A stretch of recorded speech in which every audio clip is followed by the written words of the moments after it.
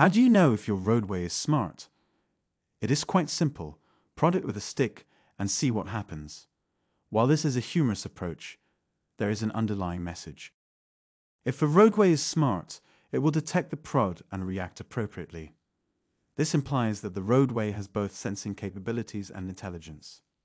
Of course, the roadway doesn't actually make the decision itself. The sensing data needs to be sent back to the brain or the traffic management center where an appropriate response can be defined. This gives an initial understanding of what a smart roadway is sensors, high speed telecommunications, decision making, and command and control. But it is more than just technology elements. As we apply technology elements, the roadway evolves from a passive resource into an interactive component of a framework that includes roadway, vehicle, driver, and management systems. It takes its place as a vital, active part of a systematic approach to traffic and mobility management. This is the first part of how I define smart roadways, the ability to be interactive. The next part, disproportionate impact, relates to the effects that smart roadways manifest.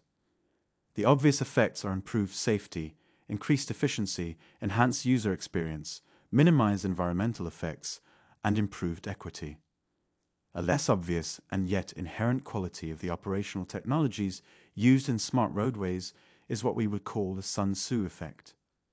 General Tzu was a famous Chinese general who lived around 500 BC.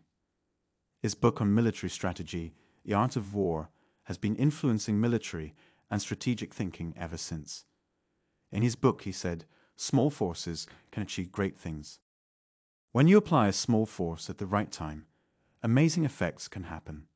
The small force in this case is advanced transport technology in the form of operational technology or sharp end information technology designed to support real time traffic management. Annual spending in Europe on advanced transport technology is about 5% of what is spent on asphalt, concrete, and steel. Yet the results significantly influence the performance of the conventional infrastructure. It is time to apply more small force to get bigger results. Political goals have been set with respect to greenhouse gases and road traffic fatality reductions. These goals are not going to be attained with just asphalt, concrete, or steel. We need to add new infrastructure in form of operational technology, commonly referred to as a network. These days, when we refer to roadway infrastructure, we are actually talking about two different things working in harmony as a single system the roadway infrastructure, and the operational technology infrastructure. The small new forces of operational technology will become critical to the successful operation of our transport network. This brings us to another reason why the time is right for action. Much of the current operational technology network for traffic is aging, not just in terms of hardware and software, but in terms of outdated architectures for connectivity and cybersecurity. Can you rely on it or it is your network living on borrowed time? Being smart is also about being current. So, if your roadway is smart, then it will react appropriately when you prod it with a stick. It will have the sensing capabilities to detect threats and opportunities. It will also deliver the intelligence required to determine the appropriate response and timing of that response. Smart also includes the capability of the roadway to go beyond passive into a proactive, interactive component in a bigger system. And finally, smart embodies inherent ability to do more with less. However, the most significant part of being smart lies in what you do with it.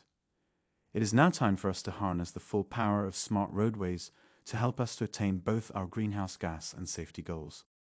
So ask yourself this Are your roadways and intersections smart enough for the road ahead? Is it time to consider an upgrade to operational technology and infrastructure? Are you on course to achieve future safety and greenhouse gas targets?